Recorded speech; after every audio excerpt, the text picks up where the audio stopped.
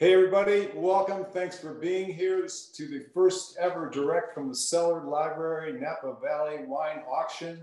My name is Doug Shafer. I'm a member of the Napa Valley Vintners Board, representing over 500 wineries here in the Napa Valley.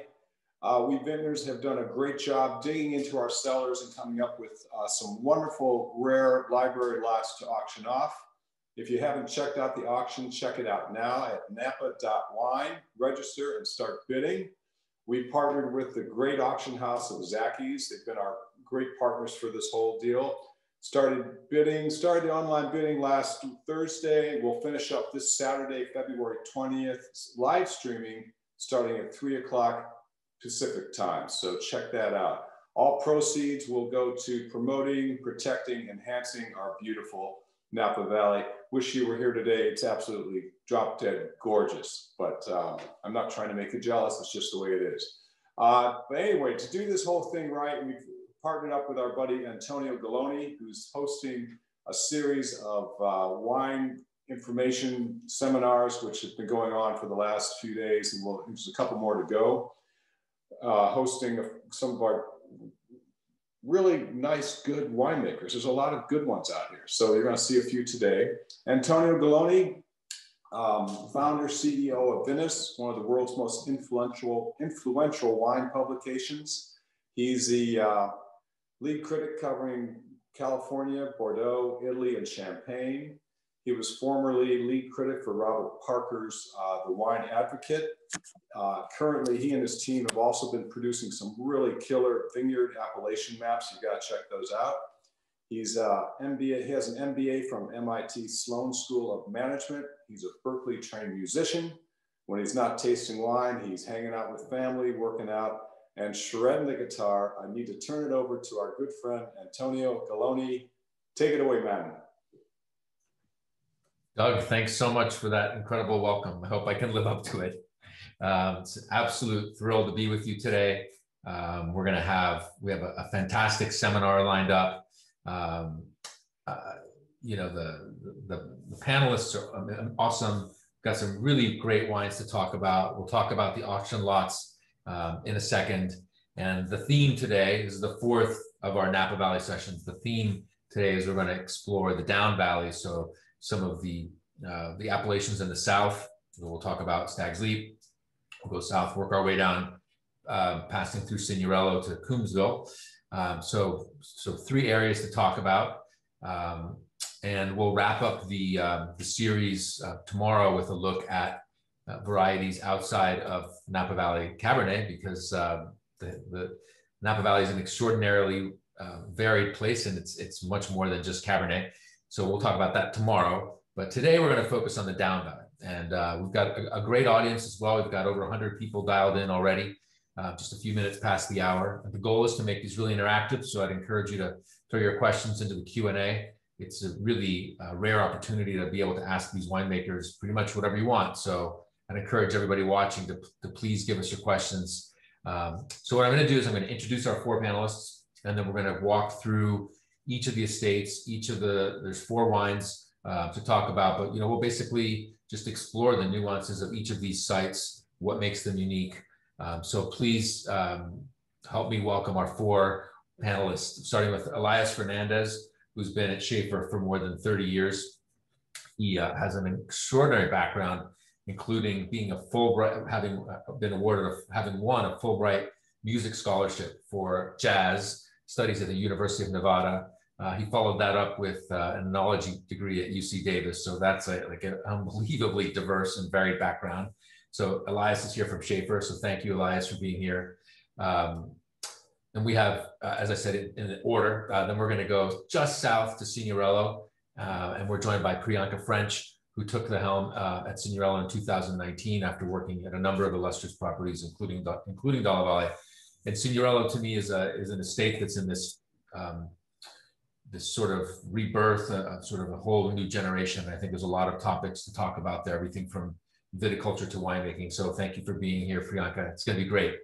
Um, and then we're going to uh, move on to, to Celia Welch, who every year in Napa Valley, Celia, you put on this incredible tasting. I get to taste all of your consulting projects. Uh, one of them happens to be Signorello, but there's also uh, you know, you've made Scarecrow for years. You make the Davies wines. You've worked before at Staglin. You have your own label, Cora. And today we're going to uh, we're going to focus on Rewa, which is one of your newer projects from Coombsville.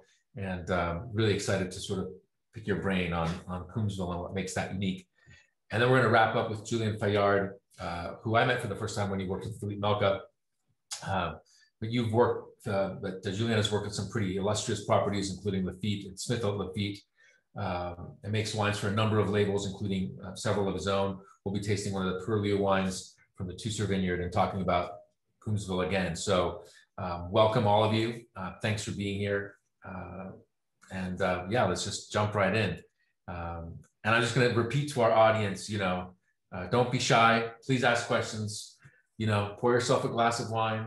Um, I am. This is 2010 Shafer Hillside Select, which happens to be one of my uh, my favorite wines from the estate. Uh, so Elias, you know, it's it's curious. Um, I don't know if I think Doug is still on, but Doug's dad, John, is one of the first winemakers I ever met in Boston. So when I was selling wines, I was an unemployed musician waiting tables, and I went to this tasting that was John Shafer and um, and John Williams from Frog's Leap, and and uh, that was like one of my very first sort of tastings of Napa Valley wine. So Shafer, I've been following these wines for a long time, and uh, it's just a thrill to have you. So thanks for joining us, Elias. Well, thank you. Great, great to be here. Thank you and the Napa Valley Vintners for uh, asking me to be here. It sounds exciting. Super exciting. So I want to start with Stag's Leap because it's, um, you know, it's maybe not, it's oddly enough, not quite as famous, quote unquote, as maybe some of the other regions that we've covered in some of these other seminars. Yesterday it was Rutherford. We've talked about Oakville, but Stag's Leap is the is the appellation in which the world discovered Napa Valley wines, at least the world of our generate, you know, sort of our times, um, through the judgment of Paris. Uh, that was really the first time that American wines were viewed as being equal to, or maybe even greater than the great wines of France, especially at the time, and now, you know, being among the great, one of the great regions of the world. But what is it about Stag's Leap that's unique in your view? You've spent 30 years at Shafer. What is it about Stag's Leap that's different from some of the appellations a little bit north? Sure. So um, one of the first things is the, the temperature variation.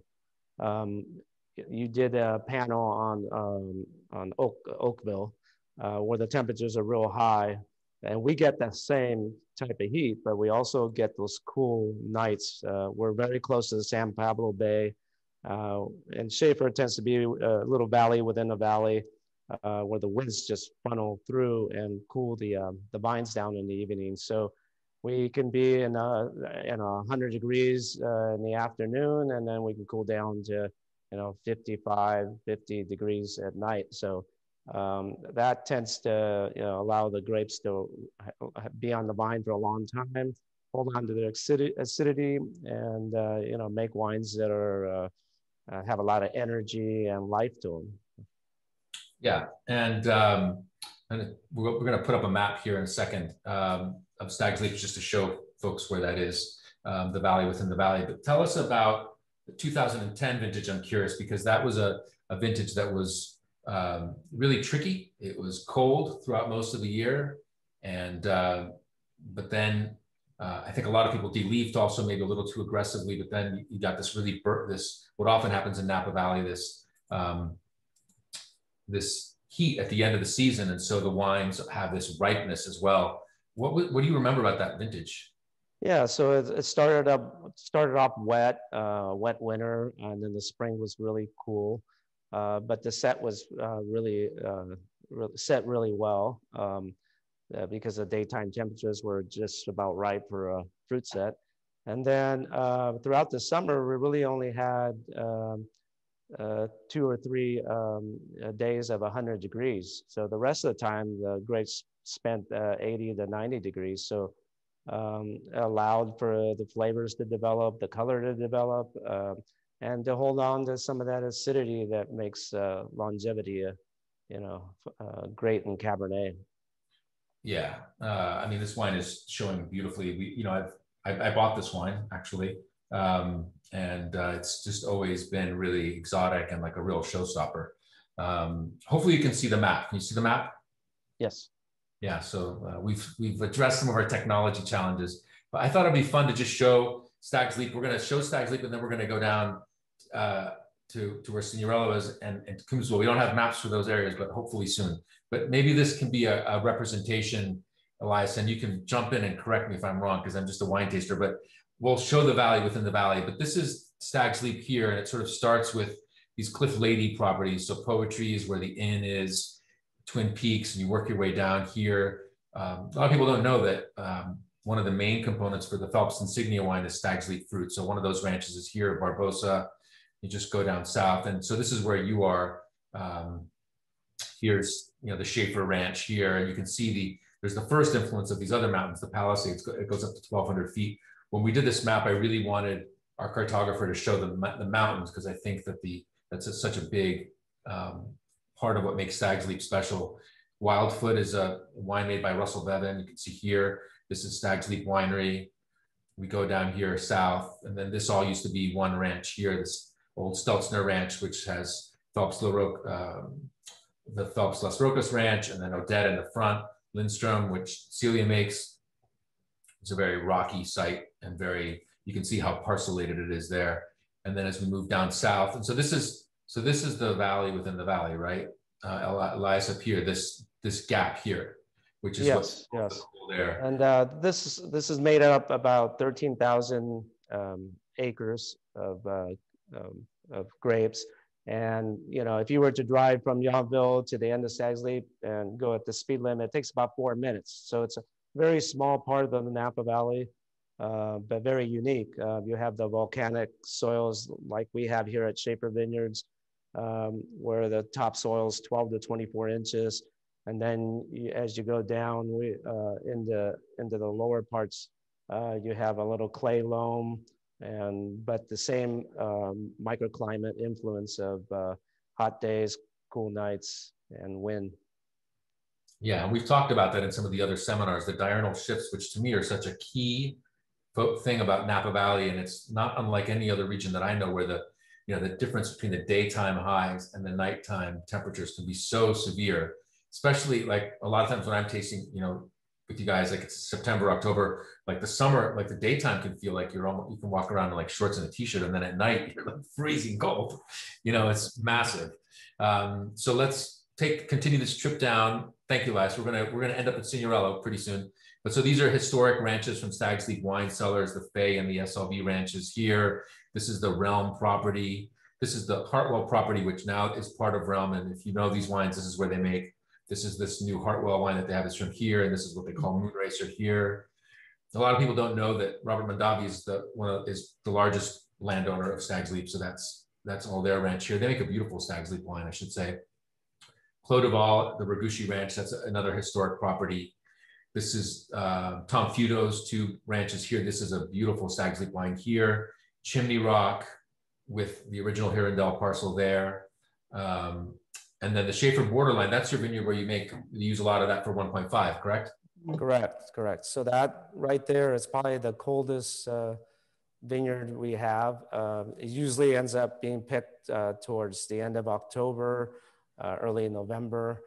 Um, so um, as you go south, it gets colder. I mean, that right there is, I pick grapes uh, at night. So sometimes they come in at 35 degrees Fahrenheit. So it gets pretty cold at night during you know late summer.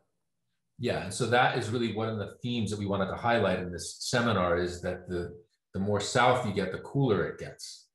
And we're going to talk about Coombsville in a few minutes, but that's an appellation that, first of all, it's a fairly recent AVA, but also there's some unbelievable wines coming from there, including the wines we're going to taste today. But uh, you know, Paul Hobbs has made a big investment there. Um, we had Andy Erickson uh, and Annie, Annie Favia on some of the preceding installments, and they're making beautiful wines there. They have a home ranch there, and it's this area that's really, I think, blossoming, especially in the last ten years or so, with the arrival of some really important uh, new ownership and the sort of the the uh, rise in quality. You know, Realm has the Farella Vineyard. There's there's uh, the whole slew of transactions down there in recent years that I think are going to really draw even more attention to Coombsville. Before we get to Coombsville, we're going to, Elias, just go down to your neighbor, just a few doors down, basically, uh, at Signorello with Priyanka French. Priyanka, thanks so much for being here. And uh, yeah, we'll talk about the auction lot wines in a bit, but tell us about Signorello and what's unique, but also, you know, you've, you've just sort of completely revolutionized the place. So what's, what's going on? Thank you, uh, Antonio. Very excited to be here. And actually, before I get into Signorello, you know, my romance with this uh, corner of Napa started uh, early on when I did an extended internship at Stag's Leap Winery, and I would sneak over, you know, as close to not trespassing the Shafer Vineyards and kind of explore that whole canyon quite a bit. So I've always, you know, had a very soft spot for this corner of Napa. And some of the reasons that Elias mentioned are why, you know, I think that the fruit that we get from this corner of Napa is so nuanced in so many different ways. And, you know, winemakers have really kind of made that push to start to express that nuance of this corner of Napa, which I'm very excited about. Um, coming to Signorello, you know, the, the, the estate has been around for uh, quite a while. Ray Signorello Sr., who was nicknamed Padrone, which is uh, one of our lots for the auction, bought this property actually in the 80s, though he knew about it all, all the way out into the 60s. It used to be uh, an area where they stabled horses that would race at the Berkeley uh, horse racing field. So uh, we've uh, been farming this property now for about 30 years. It's a 30 acre estate. And uh, in 2019, I came on board uh, and we brought along Steve Matthiasson, who's our consulting viticulturalist, and Celia, who is right here on our panel, who is our consulting winemaker, because we really, uh, we really feel like there's so much that needs to be expressed of the Signorello terroir. It is a very unique uh, property, even for this corner. One of uh, the components that Elias mentioned in terms of soil composition was kind of our first hint towards that. You know, we noticed right away that there was a lot more volcanic rock in this little knoll that we sit on. And uh, the clay content really is just in the front of our vineyards, closer to Silverado Trail. Everything else is more heavy on, on the loam side. And so we saw right away that there was a, a very kind of like a earlier ripening component compared to the rest of our neighbors at Signorello. And we've been pushing for that. We've been doing a lot of uh, precision viticulture with Steve. It's something that he excels in. I've been learning with him now for about six years. And so we've made quite a few changes to our vineyard, not from a replant point of view. We definitely want to preserve um, the age of our vineyard. Our Chardonnay block was planted in 1980. Our cab is mainly planted in 92 with a small parcel in 2002. So we have some good vine age. We're getting some really great expression of fruit from the property. And um, 2019 will be our first official vintage, though we did do quite a bit of work with 2018. So we're very excited. We think that, you know, there's always been a legacy of great wines out of Signorello and uh, very excited to continue that moving forward. Yeah, I mean, you've really kind of re-energized that property. Not that it wasn't energized before, but I mean, there's just a, a real change. Um, and I think that that's you know, one of the most exciting things that you can see in Napa Valley is, is, um, you know, this, this, um, you know, when there's a new generation that comes in and takes over a property, you can really see like this renewed, renewed energy. Um, and um, it's always fascinating to see. Um, so your top line Padron, you don't make that every year. So is it a selection of blocks or is it more sort of what happens in the barrel? A bit of both. So actually the picture that's on the screen right now, I just want to point out the these are our back vineyards and our front vineyards, which you kind of see as you're driving down Silverado Trail, are very different from the back vineyards, which again is like a valley within a valley, like what Elias was mentioning. And if you were to hike down this back canyon all the way in the back, you would eventually, you know, get to where Shafer and Quixote and Leap Winery is. And so this side of our property is very cool um, just from the weather station data that we've accumulated in the last two years, we've found already a significant difference between our front vineyards and our back vineyards, not just in terms of heat, but uh, growing degree days, rainfall that we catch, you know, solar exposure, there's a pretty big difference. And the Padrone ends up being, uh, in most vintages, a blend between the two parcels, if you will, of our estate vineyard. So the front vineyards with the Western exposure tend to give us a lot of power and a lot of concentration of fruit. And the back vineyards kind of preserve those more delicate nuances. Uh, it's always colder in the back. Uh, picking at night in the back is uh, brutal because you have to have at least two gloves on. It's always so cold. Uh, but the fruit is so delicate and it preserves this very nuanced violet and black currant character that we truly enjoy. Uh, so the Padrone is our flagship Cabernet Sauvignon. Uh, it used to be called the Founders Reserve before Ray Sr., who was the original proprietor, passed away. And then it got renamed to the Padrone kind of in an homage to our original founder. And um, it was something that was a vintage specific wine, but as we've gotten to know the property better, we have a better understanding of the blocks that we know will make the Padrone cut. So now it kind of comes as a combination of both the front and the back vineyards. Uh, and in my opinion, kind of really expresses what the range of this property is and what it can do. Well, that's a that's a great explanation. So thank you very much. Three, you know, is uh, showing great. It's still very young and still full of life. Mean, obviously, it shows a style of wine that was more prevalent, you know, more like in favor 20 years ago, but mm-hmm. uh, it's really beautiful. So that, that's great. Um, so we're going to move to Coombsville, and we're going to go to Rewa, which is a property named over the after the owner's wife, Celia. And um, you know, one of my favorite things that I get to do is I get to taste a lot of wines when they're just getting started, or even before they're even launched. And this is one of the wines that that we've tasted together, the Rewa wine, since it was first produced. And I, I got to tell you, that is my favorite thing of this entire job is sort of seeing these new things. So, uh, but you work with some really prestigious properties. Um, I mentioned Scarecrow, JJ Cohn Vineyard, um, the first time I met you were also making wine at Kelly Fleming or, or consulting, and you sort of seen the whole, all of the valley.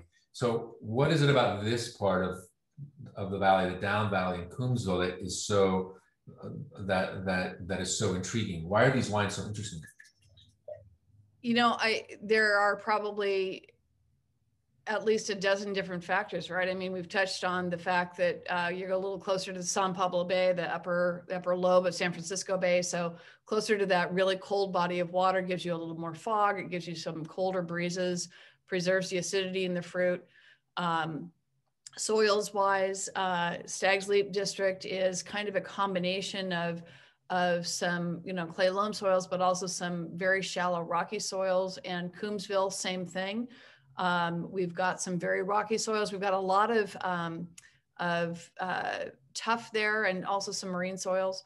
Um, and I would say similar to Stag's Leap District, uh, this particular vineyard is quite close to the Eastern Hills, um, which are probably about the same elevation, I would guess, as Stag's Leap, probably in the 12 to 1600 foot um, topping off there. And so you get these cold drafts coming from the, the cold air that's up on top of those hills. And, and uh, there's this kind of inversion that happens uh, in the afternoons and evenings as the, the air is mixing and you feel these cold drafts coming down from the hills.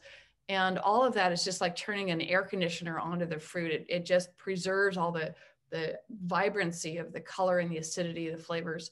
Um, so as a winemaker, that means that we get a little more time each um, growing season to choose that point where the flavors are fully developed and you know we've got great ripeness in the fruit without getting any of the you know more caramelized and raisining characters in there so we're we're trying to preserve a, an intensity of bright fresh fruit and all of these colder regions i think are really good at doing that so like when i taste these the rewa wines i mean they have obviously this intense concentration of napa valley fruit but this real kind of saltiness and savoriness that's very unique. I mean, yesterday we were talking about Rutherford and Rutherford, you know, mythical Rutherford dust, you know, and uh, which I, I believe in. It's not like I'm making fun of it, but I mean, that's such a signature of these wines. And when we move here, these wines are so salty and saline. I mean, you can just feel them like on the tip of your tongue. And they have this very distinct floral um, and herbal quality, not a vegetal quality, but definitely a more savory note, almost like a whole cluster character, but it's not. And so, do you think that that's the the the especially strong diurnal shifts in a longer growing season that does that? Yeah, I think it's again. I think it's it's getting back to those those cooler ripening conditions. Um, those those floral notes. Um, you know, you see them in a in a cold climate Pinot Noir, and you go, oh yeah, this is this is gorgeous. This is a cold climate Pinot Noir. But you don't always see those in Cabernet because it takes kind of a unique situation where you can have a a, a place that is warm enough to get the Cabernet completely ripe and cool enough that you don't blow out those really delicate floral notes. So um, in a warm, like you wouldn't get that out of a Rutherford. You would never guess that this is a Rutherford Cabernet. It doesn't smell like it. It doesn't taste like it at all. Uh, it's a it's a cooler place that can that can capture those really really tender, delicate, nuanced aromas and not lose those. Um, you know, in the in the first couple of days of fermentation, say. Yeah. Uh, so yeah, and and and in terms of just kind of the overall color and and tannin, it's amazing. We we crush this stuff, and I can go to that tank three hours after crushing, and it is dark purple. It looks like Petit Verdot, and you know I. I the first couple of years I was doing, it's like, oh, am I am I at the wrong tank? you know, is this really my Cabernet? Uh, the the color release from the skins is phenomenal, and it's something that every time I have a, a new harvest intern, you know, working with me, this is not one, again, it's the cooler side. It's not one of my first, first uh, vineyards in. It's not one of my, my first fermentations. And, and it always draws a comment from the, from the person who's, who's really just looking at these brand new fermentations for the first time. It's fun. Yeah, no. Um, I, I want to ask you because every time I go down to that part of Napa Valley, so a few things that really are striking but since I haven't done a map of it yet, I may be completely off. So please correct me. But I get the feeling, first of all, it feels much more rustic and pastoral, almost more like Sonoma than Napa Valley. You know, lots of ranches and, you know, not necessarily, it doesn't seem quite as um, focused just on grapes. There's, it, it, seems like there's just more open land. Um, I get a sense that the, the terrain is less even. Uh, we also have that question in the chat, but it's you get this feeling that the properties are smaller and that there's more diversity in like exposures and contours. Is that just my imagination or is that part of what makes that area maybe a little bit different from some of these other areas when as soon as you get up, you know, on Highway 29 or the Silverado Trail in some areas, all you see is vineyards. Coombsville doesn't look like that at all, I think. So what's your, how should we be thinking about that area? Well, I mean, in, in, terms of the the larger context of Napa Valley, you know, certainly up going up Highway 29, we've got wineries that were that were famous in the 1800s, right? And some of that is because there was good water availability, and because back when wineries were all gravity flow, and the horses were bringing the the wagon loads of grapes up to Inglenook or you know Christian Brothers or whatever, you you needed to have a close hillside, you know, and enough drop to be able to actually physically move the product around. So, so those places needed to be up against a, a really steep hill. And most of those places, not all of them, but many of them were along the kind of the western ridge lines because again, irrigation wasn't a thing. You needed enough rainfall. And Coombsville is a drier area. It's a little, even though it's close to the bay, it's further from the western hills that that give a, the rain shadow effect onto those western vineyards. So um, there's limited water. Um, this was an area that when I came to Napa Valley in the 80s was best known for a lot of ranching. There was a lot of uh, dairy ranching and some cattle ranching out there. I think some sheep as well. Um, there are areas that have a lot of basalt outcroppings. So not every place is tillable. I've, you know, I've seen vineyards where they've got vines and then there's a big gap of about 12 feet where there's no vines because, you know, there's a great big piece of basalt hanging up and, and you can't you certainly can't grow a, a vine there, even if you could, uh, you know, somehow blast a hole in the rock, it, it's not going to work. So um, not every place is a good planting place, I would say, in Coombsville. Um, the um, the lack of of commercial development just speaks to the the ranching out there. I mean, there's a um, there is a kind of a Grange co-op barn out there where people used to have gatherings. I think there may be one or two small, small little grills or restaurants or whatever, but not much out there. It's, it's mostly um, still either horses and cattle or or a few smaller vineyards. Yeah. So, and I don't think there's a lot of tasting rooms either. So it's not a place where most visitors would go and spend time. And I think that's part of what makes it. Um, that's part of the charm. You know, sort of feels. It's not nothing against, of course, you know, the, the big wineries, some that you mentioned that are on the main roads, but those are real commercial operations geared towards receiving large numbers of people. I don't think there's anything like that in Coombsville, and I think that that makes kind of getting lost around there ch- charming in a way that's not really possible once you get into like the real heart of the valley. So, so thanks. So, so your, your wine is, is, is showing beautifully. This is, uh, I mean, it's a 16 because you've only been making this wine for a few years, but uh, it's showing beautifully. And it, to me, it's a classical, it's classic Coombsville Cabernet with all those savory floral qualities. Um, so thanks. It was great. Thank you. I'm sure we'll come back to you with questions because we've got a ton of them. But before we get to that, I want to bring in Julien Fayard. Um, Julien, how are you? Hi, uh, very good, thank you. I like your background. Looks like one of our tastings. All right. Um, you make a lot of different wines, but tell us about Purlieu. Yeah, so Purlieu, the Tusseur vineyard. Uh, some people that have been collecting wine for many years used to know it under the Fraser vineyard, and uh, it was it was a vineyard planted by John Caldwell. Um, and Purlieu, we we bought that estate and then we sold it, but we kept getting allocation from fruit every year. So we started to make wine in 2009 from there, uh, and I've been making wine every single year. So for me, that site uh, specifically, it's an older vineyard that was really challenged. Uh, like Priyanka said, uh, we had Steve Matthiasson and uh, Garrett Buckland help us. We re-energized the vineyard. We kept those old vines, and the idea was um, you know, when, when I came here, the vision, uh, especially in Coombsville, which is a newer AVA, is what do those wines over time. And now we're starting to see wines, you know, 10 plus year uh, on them and see how they change and the consistency over time. That's really the exciting part of Coombsville. I think the fact that the AVA got a name um, is very important because now we isolate it uh, and it has an identity. So there is little more communication about it. It took a couple years. Uh, you know, it was what 2012, 2013.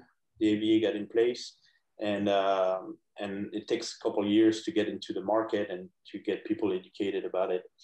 Um, I like to say for me that it's uh, it's not cold per se. We talk a lot about cool, uh, but it's the last one to warm up and the first one to cool down, and that those uh, entries from the bay uh, helps cool down and it helps buffer the effect of the weather.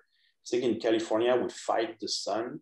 It helps us ripen those wines to a beautiful level, but sometimes can be scorching and can be damaging. And where other areas in the world are challenged by rain and hail, or challenged by the heat. And Coombsville has a natural buffer for that, which is very interesting. Um, and like everything needs a bit of yin and a yang, uh, we're getting pretty dramatic exposure, very shallow soils, not a lot for the vines to explore. And so that brings a certain stress and a certain um, tension in the wines um, that balance that cool weather.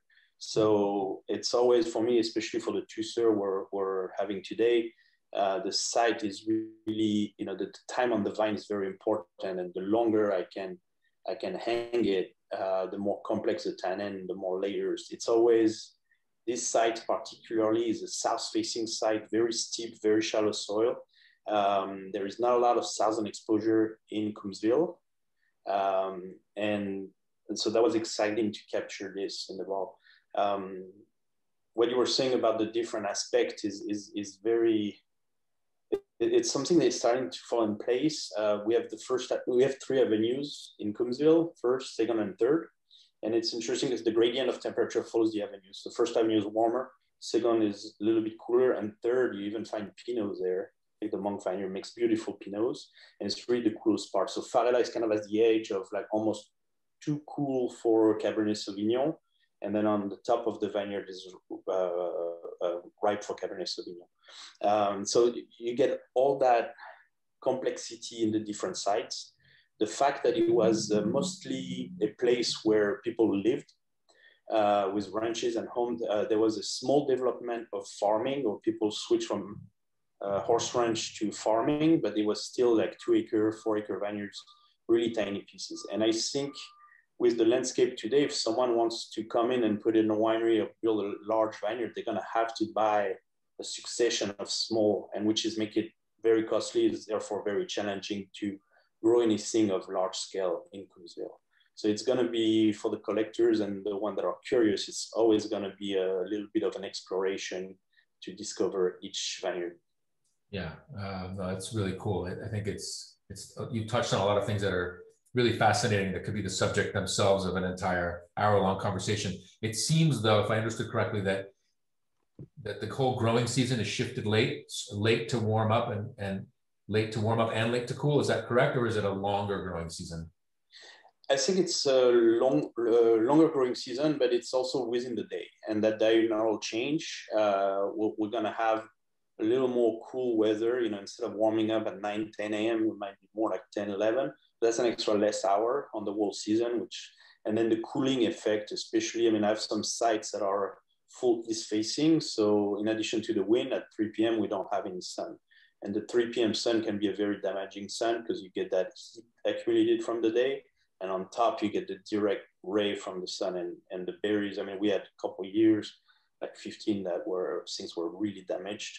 Um, and, and, that we don't have in Brazil. And that's where almost we don't have to worry when there is those events uh, about any direct sun exposure. So the canopy management can be a little bit different. We can open up the canopies. It, it's, it's, uh, for me, it's not a more relaxed farming, but it's, I'm less concerned with the extreme of the vintage and I'm going to have a little more reliability from year to year, which is which is great because then we don't have to modify too much the winemaking behind it, and it leaves a little more room for the fruit to express the site. Um, so, like if you do, we did a vertical of the juicer, and that's like, and people can really see the difference uh, of the vintage because it's really textbook what the vintage is bringing to the vineyard. Yeah, that's that's really cool. I mean, I think that yeah, I mean, I think Coombsville, I mean, may, may not have the large properties, but it's got some vineyards that people are learning more about. Meteor has been one of them for a long time, Caldwell. And then you have these new newer entrants, like we mentioned, Realm with Farella. Um, you have um, the Lawrence family, which owns Heitz Vineyard. They bought a historic vineyard called Hain. I'm, I'm not Haynes, Haynes, not Hain, Haynes. I'm not sure what they're going to call that necessarily now, but it's a, a very well-known property for super high quality grapes. Um, there's new projects like like Rewa, um, and um, I'm not sure if I mentioned, but Paul Hobbs' major development there with the Nathan Coombs estate, um, Andy Erickson 95. Yeah, so I think there's we're going to be hearing more and more about these wines, and so it's really exciting to see like this whole AVA be born and be able to taste these wines. Um, I think we've got some fantastic questions, and I want to make sure we get to as many of them as we can. Celia, th- there's a lot of questions about um, about how winemaking has evolved over the last decade or so. What's what's your view on like how has your approach changed, let's say from 10 years ago versus today?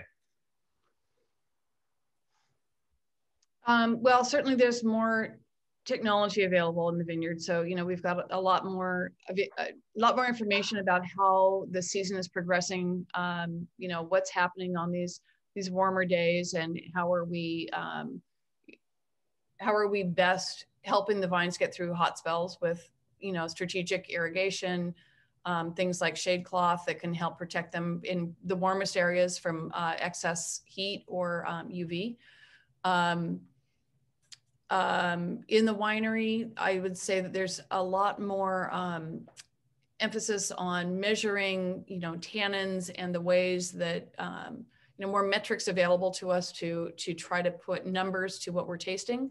Um, i would also say you know maybe i'm just old school enough that i still don't think anything really um, can outweigh the the palate. And, and you know i think that what you're tasting ultimately is is what you end up making the decisions on regardless of a spreadsheet that has a lot of numbers on it. Um, I, I really think that the biggest improvements have been in um, in viticulture, in finding better plant material, in um, in figuring out better ways to irrigate, and and this this emphasis of of just very very minute areas of, of differentiation between this block and that block or between this row of vines and that row of vines and making sure that the people that are that are making decisions whether it's canopy management or pruning or whatever are paying attention to um, the the small differences within a row of grapes. Um, and i would say the other thing that i you know I, I guess on a broader scale is that i think that there's been a broader acceptance of, a, of more different kinds of styles. I think that back in the 90s, somewhere somebody got hooked on the idea that that bigger and higher alcohol and and thicker wines were somehow better. And I am really glad to see that change. Um, um, that was never my my winemaking style personally, anyway. But I just think that that there's a there's a return to the understanding of elegance and grace and complexity that maybe wasn't being um, heated as much it wasn't emphasized as much 10 15 years ago i'll tell you tasting napa valley wines is so much fun because there is so much diversity of places but styles and approaches and the, it's hard, it's not like essentially impossible to keep up with it all but it's nice to it's fun to try but you mentioned something which is farming. And I couldn't agree with you more just to build on that because I have seen it myself where a new vineyard management company or a new vineyard manager comes in and literally within a year you can see a difference in the wine in the wine. Now usually one it's I, I think unusual that a winery would change one thing. Usually it's kind of part of a bigger philosophical change. So it's it's it may be more than one change, but you can see some pretty dramatic influences. At least to me, when I taste the wines, I can see some pretty dramatic changes just in a single year. And I think one of the biggest changes that follows on from that is that people are picking in smaller lots because they've they've done more work to understand their vineyard. Therefore, they understand these differences, like Elias was talking about at Shafer, where like the, the terrain is different, and that's a pretty big ranch. But Signorello is smaller, and still the, the idea that there's a lot of diversity even within a single property if you look at the old USGS maps, not that there's anything wrong with the government research, but it would tend to lump all of these areas into fairly broad classifications of soils are. And then when you when you really dig into the detail, you get much more nuance. And I think because of that, people are they're doing smaller picks, more micro picks, because they've done this work that you've talked about, Celia, to really understand their ranch and like each little block. And you can really taste that in the wines. We had a the first seminar that we did in this series was young winemakers. And there were some wines from the 90s and there were some wines from present day. And wines from the 90s, there was um, a 95 Bryant Estate and 18 Bryant Estate. And then um, there was a 93 Harlan and a 16 Harlan. And to me, there's just no comparison. I mean, nothing against those wines from the 90s. They were very important in building the, that generation of Napa Valley. But you taste the wines today and they just, seem to have this extra precision and, and, nuance and detail. It's sort of like looking at a really crisp picture versus looking at a picture that's crisp but not quite as crisp. And so I, I think it's kind of a golden age. When you taste these wines of today, they're just they're just beautiful. Um, but I want to just take some more questions. There's one for you, Elias, about the Stag's Leap Palisades, and um, from Bill. What do you think the what is the effect of that of the of those mountains on growing grapes? Uh, is, is heat being trapped as well, or is it, you know, tell us a little bit about those mountains. Those are the mountains I showed in the map at the beginning, the brown ones that go up to about 1200 feet. What, right. what is it? Yeah, so uh, the, those mountains have crumbled over the years and eroded down, you know, towards the, the valley. And they have uh, produce the soils that we grow grapes on. Um, we have uh, about 48 acres here that are planted and there's about 18 different blocks. And so um, I get to see the influence of uh, the hills. I mean, as you go up, the, the, soils are more shallow, you know, like again, 12 to 24 inches. So the vines struggle. I have to be watching the water uh, for sure. Um, you know, we talked a little bit about technology. Well, in the old days, it was all gut feel on when to water and so forth. One of the beauties of the new technology, such as sap, flow uh, sensors and uh, you know um, uh, stuff like that, is I can actually see what the reaction is uh, of the vine to watering and so forth. So um, I, I, use a lot of that on the uh, top of the hills. On the bottom, um, you know, you get a little more thicker soils. Um, uh, they drain really well also, but they, their holding water holding capacity is better. So um, I'm able to let them, uh, you know, hang a little longer without irrigation, produce smaller berries. And my goal is to make the bottom uh, lots as good as the top ones so that when I blend hillsides left, uh, I have a lot to choose from. So, uh, but those hills are, um, you know, uh, really what has given the, the bottom some, uh, you know, great soils to deal with. So. Yeah, it's interesting. The answer is not always the obvious answer. May, may not be about the hills themselves, but what they've contributed to the to the dirt that where you actually are growing grapes, right? Yeah, I never thought about it that way. That's really fascinating. Uh, Priyanka, you've spearheaded this uh, this uh, project at Signorello to really re rethink farming. What what is, what are your thoughts on sustainable farming, biodynamic, organic? Um, do you think that these do these do these designations matter, or are you more of a practical person where you're sort of more about um, sort of like what is needed in each vintage? How are you farming your your property? Uh, that's a really good question because I've actually been pondering it myself in many ways. Uh, I think a, a, huge inspiration for me, I definitely believe in sustainability. A huge part of the initiative at Signorello is to channel that, not just in the vineyards, but as a part of the construction of the new estate. You know, we're looking at building materials. How are we using energy resources? Are we using them efficiently? When it comes to farming, I think uh, my view is a little more holistic. Uh, I like to you know, India's had a background of agriculture for centuries, and I like to tap a little bit into that. And when you start to look at everything that has been happening uh, in that country, you realize that a lot of these fields, you know, sustainability, organic, biodynamic, eventually the common the commonality that exists among all of them is giving the giving the vine, giving the plant what it needs. So that question of you know, what does it need at that point of time? Definitely for me is a practical answer. It depends on the varietal, it depends on the location. But in terms of choosing my chemicals, in terms of choosing, you know, what when are we spraying it, how many times we're spraying it, those are very intentional decisions. And those are decisions that we deliberate on um, on quite a bit before we actually execute them in the field. So I think I, I believe in kind of the broader range of sustainability. We definitely are, are you know, using only organic products at the field, but in terms of really defining myself in one of those categories, I think that is something that is still uh, still going on in my head. okay, so we're gonna have to check back in with you. yeah, it's a big topic. Define a new form of uh, new form of agriculture that combines you know, the wisdom of Indian agriculture with everything else that Western science is bringing us into. Well, obviously have an incredible background to bring to that. So that'll be very interesting to see where you end up. Um, Julien, I'm curious. I mean, obviously you've made wine in Napa Valley now for like, you know, 15 years, I think, if my math is correct. Do you think the, this new, this more recent interest in Coombsville, how much has to do with, say, trends in climate change and how much has to do with just maybe the vineyards are being farmed a little bit better or there's more uh, investment into the area. Is climate change a, factor, or how should we think about that? Um, yeah, the, the climate change, you know, before falling into the political discussion about it, is always, um, I, I, think, you know, everything adds to the equation. Uh, the first one is we're still a young region, and someone asking the questions about you know what's the impact of the winemaker and the farming techniques and the winemaking technique.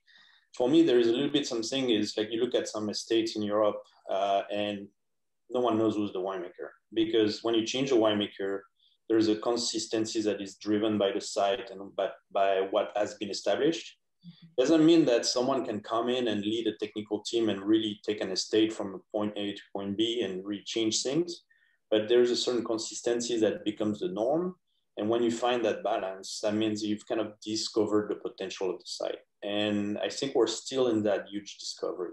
Uh, and that's why you get so much uh, changes when you have a technical change in, in a winery on the farming or the winemaking side. And as long as we have those huge shifts, that means we still haven't found really the balance of the site and we're still discovering. So many people follow us as winemaker and they like our wine, and then they start following all the wines we make. And because there's a trend, But I think as soon as uh, we start to follow a label because of its identity, it's also what, you know, many labels change over time and you get new labels, you get some that disappear. But once you have something that is really an anchor for a site, this will live through the years and it will become uh, a referential and identity and then it will be timeless. And I think we're still building all this, discovering all that. And that's really the exciting part of it. And that's maybe the biggest leverage we have today beyond the weather, beyond the sites, you know, we're still discovering a lot. Yeah. Um, Napa Valley is still a pretty young region relative to Bordeaux, let's say, for example. Um, I'm curious. It, it, it, doesn't evaluate the quality of the wines and the level of the rank. It's, uh, that's the thing is we, we have an, an area where a lot of money has been invested into the winemaking, into the facility, into research.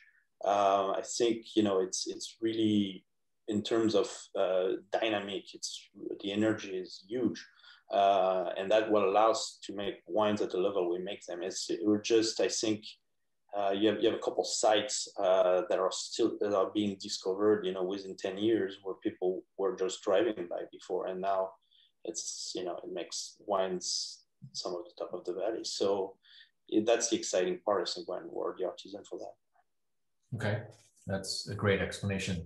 Uh, obviously, uh, as the as the time marches on the vintage that a lot of people want to know about is 2020. So who wants to answer the question about 2020? What is, uh, how should, uh, how should, how should consumers approach this vintage? I mean, I'm happy to give my view too, but I mean, you know, um, Celia, what do you think? I mean, how should, I'm going to put you on the spot. What, how do we think about 2020?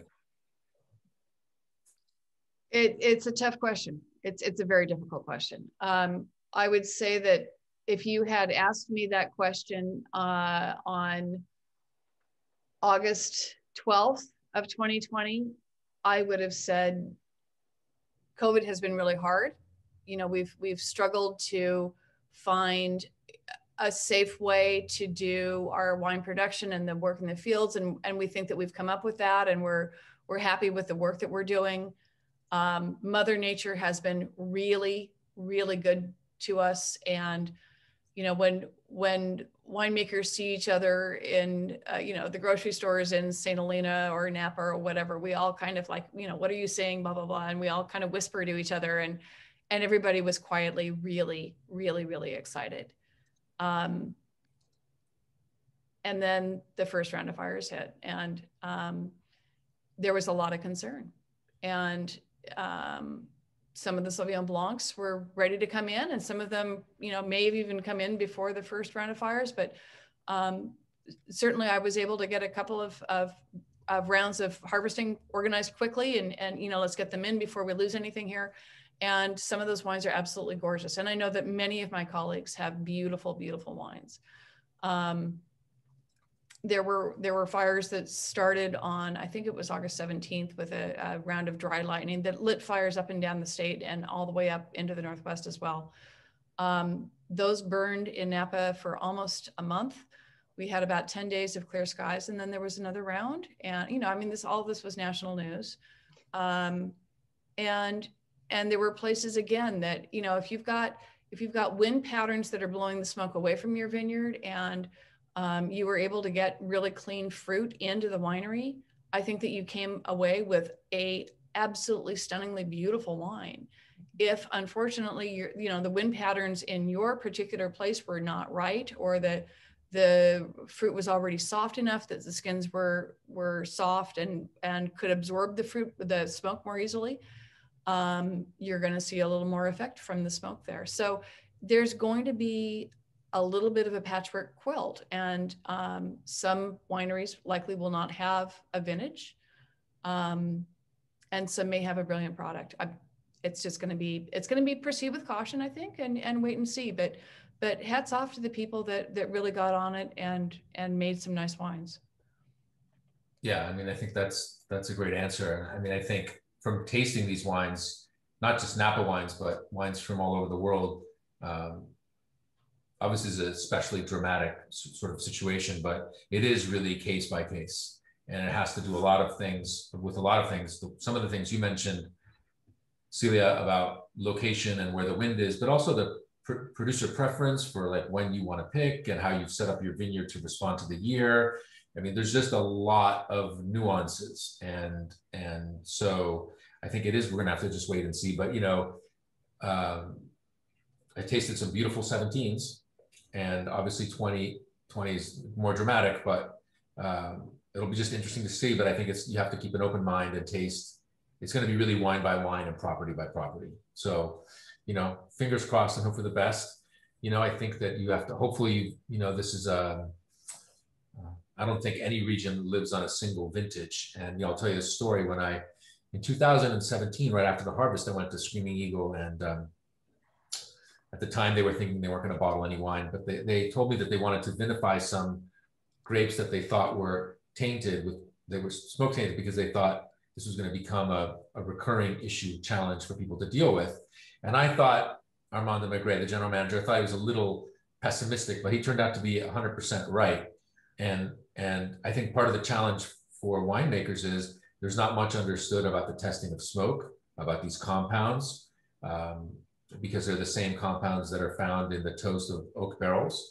There are um, wineries that have sent uh, that I know have sent wines that they know have no smoke taint, but they show up with those compounds because of something in the soil, perhaps. Uh, in mountain AVAs like Atlas Peak or Howell Mountain, those wines often have a charred, kind of smoky, gamey quality anyway, even when they're must. Uh, we don't know if these compounds, if they can unbind or bind over time. And I, I just think there's a tremendous um, amount of learning that has to happen. So I, I, think you have to think about. I hope people will think think of 2020 as a, a point in an arc, as opposed to like a destination. It's I think uh, a lot of hopefully a lot of learning will come out of this, and that there'll be a lot of really great lessons. But because I know that, you know, uh, if if you take your your a fruit sample to a lab and you're not going to get an answer back for five weeks, it doesn't matter what the answer is because you have to make a decision but before then, and so you're making it's like you know you're flying an airplane, but you've got no controls. You're just going to go on instinct, and you know that'll work a lot of the time, but you know it'd be much better to know. And so I think this is the story of 2020 is really kind of using this to kind of get to the next level of understanding, just like you, you know, Celia, you were talking before, but uh, everybody on this panel has talked about the improvements in farming and having more data available today. Hopefully there'll be more data available on this, you know, less pleasant subject um, you know, as we move forward. Um, and so, and so I think it would be fun to just, um, you know, because the Napa Valley, so thank you, so that was very candid and very appreciated.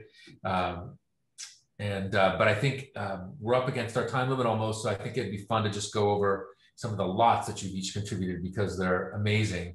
And, um, and I just to talk a little bit about the wines that are in here. Um, and I'm just going to go through the through the um, through the lots for a second. So the the Shafer lot is an incredible collection of 15 vintages of Hillside Select, the flagship wine from 2000 to 2014. So that's 15 magnums. That's an incredible lot, Elias and Doug. So um, super generous to contribute that.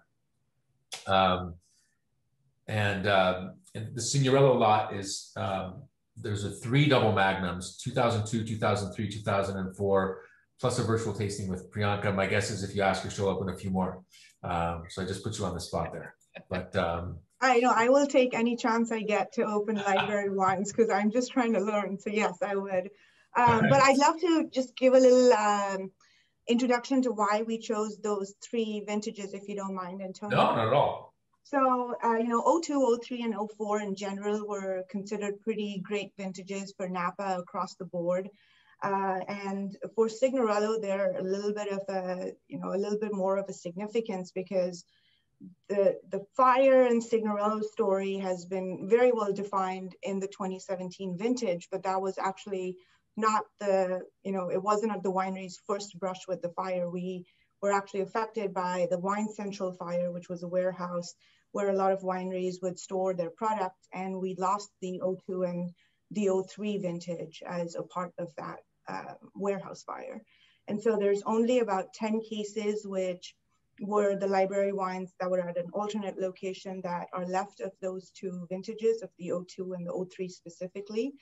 Uh, and, and, and all the rest that we have is all in large format. So it's a really special vintage for us. And I think the trio, you know, I had a chance to take all three of them while choosing which vintage to uh, present at this panel. And I chose the 03 because I truly thought it was the 02 that would kind of, you know, be, it would steal the show. But the 03 stood out and it stood on its own. And as a winemaker, I think I appreciate those the quieter years more. And I thought it was drinking really well. So I just wanted to share that little story with everyone. Well, I'm glad you did because you mentioned two things that are really important. The first is that the the less lauded vintage may turn out in time to be the wine that gives you the most satisfaction. Yesterday we tasted a 01 from Freemark Abbey and and Kristy Melton was saying, you know, she'd chosen a 01 and she didn't really say it, but but you know, she could choose whichever vintage she wanted. And I remember tasting the 01s and the 02s a lot because it was right when I had joined the Wine Advocate and I did those 10 year retrospectives with Bob Parker. And you know, you taste all the 01s and all the 02s, and, and it was very clear that O1 was the more interesting vintage, but that was not at all the case when these wines were first released. And so that's a very interesting lesson for all of us to keep in mind that the most famous quote unquote vintage may not be the wine that after 20 years gives you the most pleasure. And then um, obviously these wines are super rare because almost all of them was destroyed in fires, which takes us back to our previous topic. But you know, on that, I should just add that you know the point of this auction is to is is to raise funds that will help safeguard the future of Napa Valley. So if you're concerned about fires, one thing you can definitely do is bid generously on these lots. Uh, all right, so let's look at the Rewa lot. Um, and uh, Celia, uh, you have some really beautiful wines in here too. Um, I love the 9 million years in the winemaking theme. Um, four magnums, 15, 16, 17, and 18. So that's a really great lot too for who wants to get to learn these wines, you know, right from the very beginning. Yeah, uh, right from the right from the beginning of the Rewa story. Although this was an existing vineyard, and that was how my connection with that site uh, came about. I had been uh, this was a, a, prior ownership was uh, farming and selling fruit, um, and I had a client who was buying some out of there for a little while, and um, uh, at some point, there was a question about vineyard management, and Mike Wolf came in, and uh, you know, of course, just immediately the quality of the fruit just immediately just jumped tenfold. Um, yeah. So when um, when that owner passed away, and Serene and Rewa Singh purchased the vineyard, um, they asked Mike if if he had a recommendation on a wine maker uh, that could work with this fruit, and he said, "I know somebody who already has." um, and the opportunity to work with Mike again and that great site was was wonderful. So even though this was my even though 15 is the first vintage of my effort for Rewa, it was not my first run with those grapes, and uh, it was nice to come out with a new brand that where I I really felt confident in knowing exactly how to handle this and what it could become. So um, it, it, 15 was not a trial run by any stretch. It's a it's a really strong first step into the market for this new brand. Okay, so that explains a lot of what's in the glass, which I didn't really understand the full context at first. So thanks for sharing that. And uh, it just occurs to me, Elias, that I skipped over you when I talked about your lot, but you had so many wines. But 00 to 14, what? How do we think about 15 magnums? I mean, you got to have a lot of friends, right? Oh yeah, yeah. You better have a lot of friends. Um, you know, um, the Shafers have always been generous with the Napa Valley Vintners. Started with John Shafer. You spoke about meeting him for the first time. I mean, he was one of the chairs a long time ago, and uh, and so you know, it was uh, an all-out effort to give something that would uh, you know make some money for the organization. Um, you know, wine of a place uh, speaks of the vintages, speaks of Napa Valley. So it's a it's a fun lot. Um, you know, so um, you know, 2003 as you know uh, it was just mentioned is one of my favorites in there too. It's it's a it's come around and uh, it should be showing well. So got some good stuff in there for ageability, for drinking now, and for aging for many years to come. Yeah, cool. Um, and then and then the Purlieu lot is really cool too because here again is the opportunity to compare two vintages uh, 2013 and 2014 in this case. Uh, you know, 13 everybody knows, you know, very rich, powerful, structure. 14 is always more linear, but you know that goes back to our discussion. Who, who knows in um, when these wines are 20 years old, which vintage is going to be the more interesting one because 14 always has this incredible finish and this incredible brightness. And uh, I don't exclude that in you know, in uh, in another 15 or so years, that it may be that the 14s are are slightly ahead of the 13s. I mean, I don't think of wine as competition, like something being better than not better, but um, certainly interesting. And Julien, you have an amazing lot here because you have the 13 and the 14 of your two Teusser vineyard in Coombsville. You have a case of 12 bottles for each of those vintages, and then um, a double magnum and a six liter. So that's a lot of wine in the cellar. Um, so very generous uh, the, the, idea behind it was to uh, for the collectors, you know, comparing side by side, fast forwarding. You know, what's great for the winners if we we go dig in the cellar and open doors that usually you can't open, and also you know if you want to answer the question about how it ages in the different formats you're going to be able to do that. So it's, it's pretty cool. I think the 13 is you know classic vintage. Uh, it's big it's powerful. It's actually less drinkable right now than the 14s because they're so tight and so powerful. But the 14 is was pretty dark and pretty muted aromatically, and you see all the all the bouquet on the nose starting to develop and really uh, fresh aromatics, not an aromatic necessarily of evolution, but still in the maturity of the wine. And that's a very slow movement over time. That's super interesting. And so a vintage that was a little bit in the shadow of 13, I think is starting to, to really show off. Awesome. Well, that's a great explanation. So, well, I just want to, I'd like to, first of all, thank the four of you for your time this afternoon.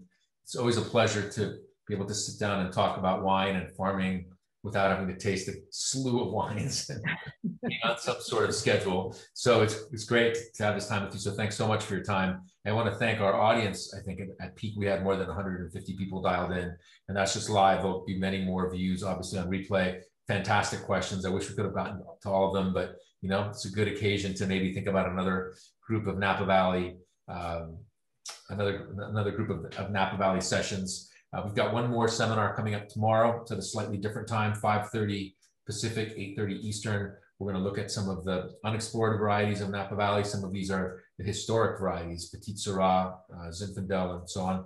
A great panel as well. It's going to be really fun. Um, and so I'd like to thank the Napa Valley Vintners for hosting this, Zachys for running the auction, and just remind everybody that bidding is is open and to please bid generously on these amazing on these amazing wines, these amazing lots. So thanks everyone for your time. Cheers. We'll see you tomorrow. Thanks, Thank you so much for having us. You're welcome. Bye bye.